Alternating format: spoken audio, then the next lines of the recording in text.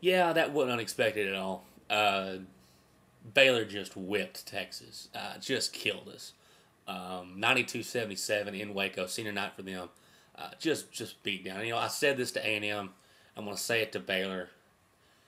Y'all are just better than Texas. Uh, right now, just just leaps and bounds better than this Texas team. I think Texas, right, I don't even know what seed. We're probably playing Iowa State to start off the Big 12 tournament. I don't even know what seed we're in. It's probably pretty low. Um, so, yeah, I mean, we'll, we'll see what happens in the tournament. I, I have no expectations whatsoever for this team. Um, you know, and, and then for the national championship tournament, um, you know, the fact that, that people are just putting this in already uh, for the NCAA, which that may change, which can't blame them. But the fact that many people have already you know penciled Texas in for that tournament uh, blows my mind right now. Because shoot, uh, this team, I don't know why this team would even be there right now, uh, losing as many games they have so far in such a quick, uh, short, you know, short amount of time, and falling from the rankings as quick as they did. Uh, one of the one of the uh, biggest mirages ever in college basketball history. You know, number one in the country, start off seventeen and zero, oh, and then really just show your true colors or something. I don't know what happened. Um, and I like this team. It's not like you know I hate this team. Like you know the guys are stupid or whatever. Um, it's just it's not there. It's not there. Uh, congrats to Baylor, um, Carter and those guys. Uh, senior night, you know him and Lomers were graduating.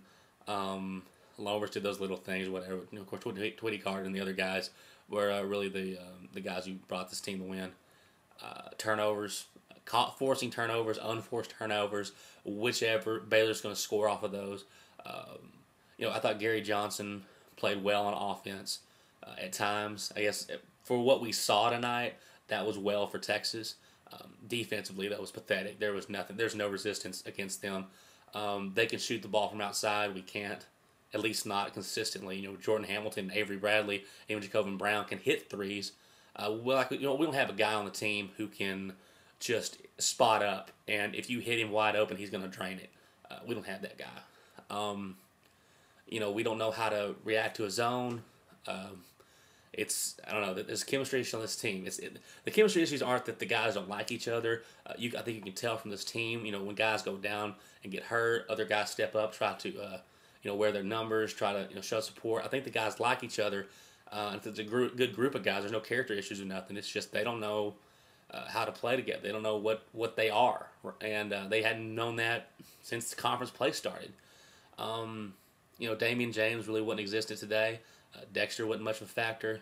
Uh, all around, just a beatdown. And like I said, uh, and for everybody who keeps thinking that I am this Texas Longhorns fan who thinks that uh, no one's better than Texas and no one can beat Texas, and when they beat it, it's it's a it's a fluke or something. I'm telling you right now, Baylor's better. A&M's better. Uh, Kansas is better. Kansas State is better. All those teams are better than Texas. Um, and I would even say to the other teams in the, in the coming up in the uh, NCAA tournament, uh, we all know what Kansas and Kansas State are going to bring to the table. You guys better watch out for the Aggies and Baylor Bears. Uh, those are two very dangerous teams in the tournament. As for Texas, I guess we're still in. If we are, I don't know. It's you know, any team can make a run. You you, you can tell yourself uh, you know, George Mason got to the Final Four. Anyone can do it. And it, it's easy to tell yourself that when you're not watching the team play. But then you watch them play, and you just shake your head like, I don't see it. I don't see it. Uh, so, um, you know, I didn't make a video after beat OU. Uh, OU's not any good. Uh, and they already, but even though saying that, they beat us in Oklahoma earlier this year. Uh, we won that game. Uh, it was, you know, senior night. It was great to see those guys, and it is. It was great to see uh, Damion James, Justin Mason, Dexter Pittman for the last time uh, playing for the Texas Longhorns in Austin. Um, and it was a good game. I mean, wasn't anything impressive. You beat OU, which is one of the worst teams in the conference.